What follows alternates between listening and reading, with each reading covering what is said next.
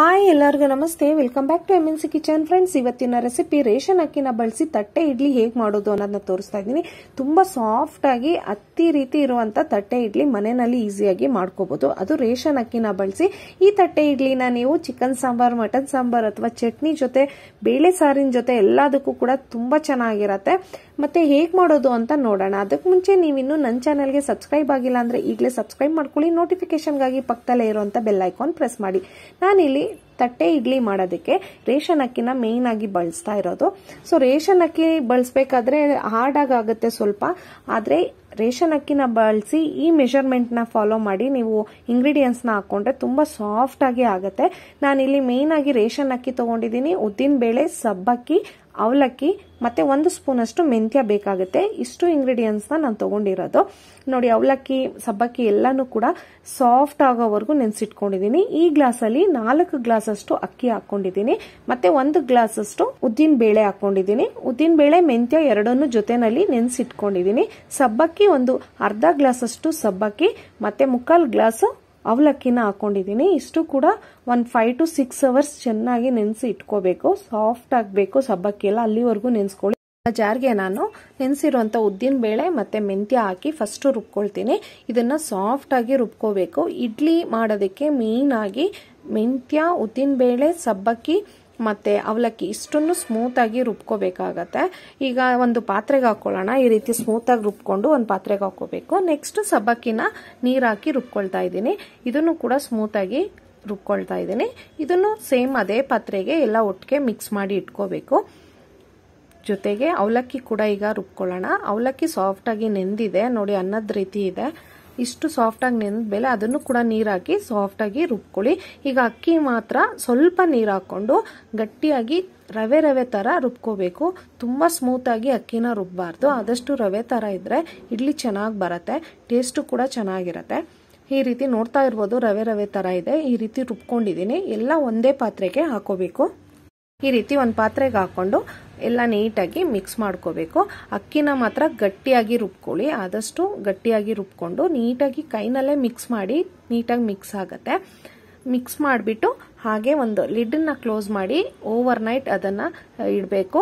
ಏನಕ್ಕಂದರೆ ಹಿಟ್ಟು ಉಬ್ಬು ಬಂದರೆ ಇಡ್ಲಿ ತುಂಬ ಸಾಫ್ಟಾಗಿ ಆಗುತ್ತೆ. ನಾವು ಸೋಡಾನ ಇಲ್ಲಿ ಬಳಸೋದಿಲ್ಲ. ಓವರ್ ನೈಟ್ ಬಿಟ್ಟಿದ್ವಿ, ನೋಡೋಣ ಹೀಗೆ ಈಗ ಉಬ್ಬಿದೆ ಇಟ್ಟು ಅಂತ. ತುಂಬಾ ಚೆನ್ನಾಗಿ ಇಟ್ಟು ಉಬ್ಬಿದೆ. ಈ ರೀತಿ ಇಟ್ಟು ಉಬ್ಬಿದ್ರೇನೆ ಇಡ್ಲಿ ತುಂಬಾ ಚೆನ್ನಾಗಿ ಆಗೋದು ಸಾಫ್ಟ್ ಆಗಿ ಆಗುತ್ತೆ.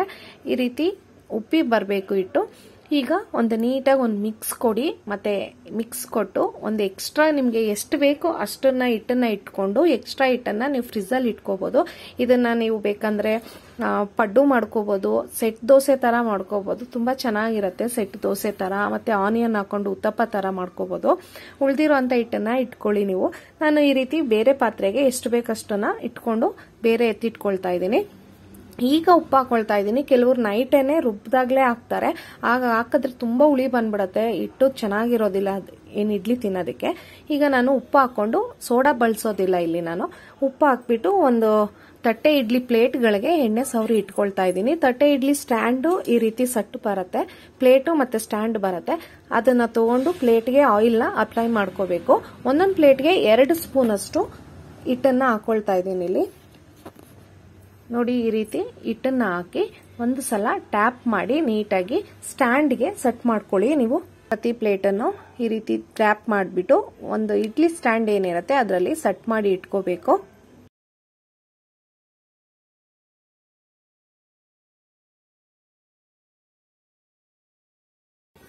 ನೋಡಿ ಈ ರೀತಿ ಸೆಟ್ ಮಾಡಿದ್ಮೇಲೆ ಒಂದು ಪಾತ್ರೆನಲ್ಲಿ ಇಡ್ಲಿ ಪಾತ್ರೆ ಇರುತ್ತಲ್ಲ, ಅದರಲ್ಲಿ ಸ್ವಲ್ಪ ನೀರು ಹಾಕಿ ಇಟ್ಕೋಬೇಕು. ಬಿಸಿ ಆದ್ಮೇಲೆ ಸಟ್ ಮಾಡಿಟ್ಟಿರುವಂತ ಇಡ್ಲಿ ಸ್ಟ್ಯಾಂಡ್ ಏನಿದೆ, ಅದನ್ನ ಒಳಗಡೆ ಇಟ್ಟು ಲಿಡನ್ನ ಕ್ಲೋಸ್ ಮಾಡಿ ಬೇಯಿಸ್ಬೇಕಾಗತ್ತೆ ಇಡ್ಲಿನ.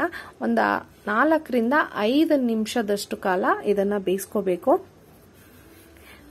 ಇಡ್ಲಿ ಸ್ವಲ್ಪ ತಟ್ಟೆ ಇಡ್ಲಿ ಆಗಿರೋದ್ರಿಂದ ಒಂದು ಐದು ನಿಮಿಷ ಬೇಯಿಸ್ಲೇಬೇಕಾಗತ್ತೆ. ಈಗ ನೋಡಿ, ಒಂದು ಫೈವ್ ಮಿನಿಟ್ಸ್ ಆದ್ಮೇಲೆ ಇಡ್ಲಿ ಈ ರೀತಿ ಆಗಿರತ್ತೆ.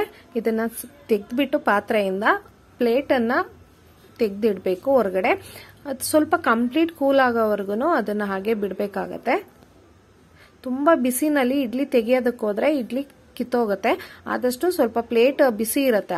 ತುಂಬ ಬಿಸಿ ಇರುತ್ತೆ, ದಪ್ಪ ಇರೋದ್ರಿಂದ ಇಡ್ಲಿ. ಸ್ವಲ್ಪ ಟೈಮ್ ತಗೊಳತ್ತೆ ತಣ್ಣಗಾದ್ಮೇಲೆ ತೆಗೀರಿ. ಈಸಿಯಾಗಿ ಬರುತ್ತೆ ಇಡ್ಲಿ. ಕಂಪ್ಲೀಟ್ ಕೂಲ್ ಆಗಿದೆ ಈಗ. ಈಗ ಒಂದು ಸ್ಪೂನ್ ತೊಗೊಂಡು ನೀರಿಗೆ ಹತ್ಕೊಂಡು ಅದನ್ನ ಇಡ್ಲಿನ ತೆಗಿಬೇಕು. ಫಸ್ಟ್ ಸುತ್ತ ನೀವು ಅದನ್ನ ಬಿಡಿಸ್ಕೊಂಡ್ರೆ ಈಸಿಯಾಗಿ ಬಂದ್ಬಿಡತ್ತೆ. ತುಂಬ ರಫ್ ಆಗಿ ತೆಗೆಯೋದು ಬೇಡ. ಈಸಿಯಾಗಿ ಬರೋದ್ರಿಂದ ನಿಧಾನವಾಗಿ ನೀರು ಹಚ್ಕೊಂಡು ಸ್ಪೂನ್ಗೆ ತೆಗೀರಿ ಈ ರೀತಿ.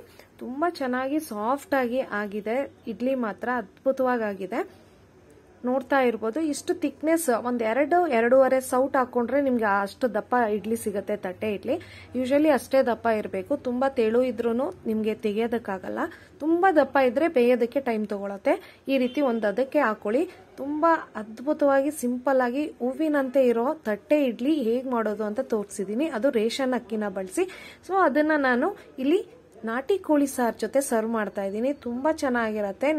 ಸೊ ನೀವು ಕೂಡ ಈ ರೀತಿ ತಟ್ಟೆ ಇಡ್ಲಿ ಮಾಡಿ ಟ್ರೈ ಮಾಡಿ. ಫ್ರೆಂಡ್ಸ್ ನೋಡಿದ್ರಲ್ಲ, ತುಂಬಾ ಸಿಂಪಲ್ ಆಗಿ ಈಸಿಯಾಗಿ ಮಾಡುವಂತ ತಟ್ಟೆ ಇಡ್ಲಿ. ಅದು ರೇಷನ್ ಅಕ್ಕಿನ ಬಳಸಿ ಮಾಡಿದೀವಿ. ತುಂಬಾ ಸಾಫ್ಟ್ ಆಗಿ ಕೂಡ ಆಗಿದೆ.